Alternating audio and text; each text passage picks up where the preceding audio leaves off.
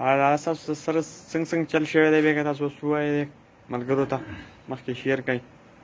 اعوذ بالله من الشیطان الرجیم بسم الله الرحمن الرحیم زما پښتنو مشرانو کشرانو پاکستانو السلام علیکم بعد د سلام نه عرض دا دی چې مخکې مې ویډیوګانې نه دي کړل اوس دا ویډیو ضروري ده چې ویې کړم او ستاسو سره شیر کړم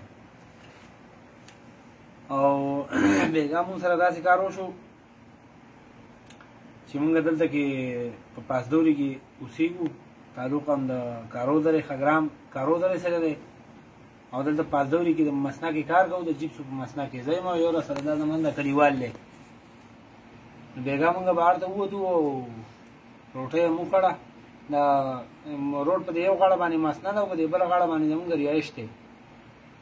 کمره ده هغه کمرې ته ځو پرې وتوله دلته به د مسنا کې مونځ کوو او روټۍ موټۍ دلته خورو انډیوالي دلته کوو لمبر له راځو دلته خپل لمبر کوو او بیا ځو هلته سملو نو بېګا ما خوستان تلو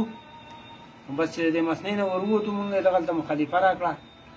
لس زر ریاله مخالفه یې ماله را کړه لس زره یې دله ورکړه په اقامه باندې او بیا راته میسجونه راغله دا میسیجونه دي دا وګورئ زمونږ نه وکړي تاسو ښه پوهېږئ او د دې ویډیو مقصد زما دا نه دی چې تاسو زمونږ سره څه هیلپ وکړئ یا څه وکړئ یا څه وکړئ بېروزګارۍ دي څه دي څه دي خو د دې ویډیو مقصد زما دا دی چې د حکومت اعلان کړی دی او کرفیو لګول ده او په دې کرفۍ کې څوک بهر ته دننه کېږي نو هغه له به مخالفه ورکوي نو په خپلو رهایشو کې کښېنئ ټایم پاس کوي خپل دا وبه راغله بس خپل ټایم پاس کوي او که زما د کلیوال د طرف څخه خبرې جو ودی کی ته مونږ له مخالفه را کړل لا زره ما را کړل لا زره ادله ور کړل دا برانه یا د اقامې د نوی کولو سالي یا برانه په ایرپورټ کې پتلو باندې اخلي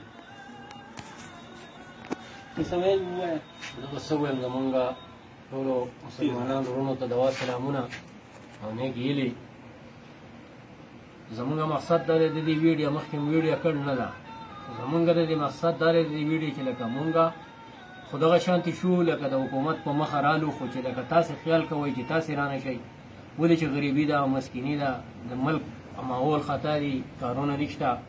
چې کارونه وي نو بیا هم یو څه خبره نه وه نو لکه مونږ ته خو دغه مشکل راله خو چې تاسې ترې بچ شئ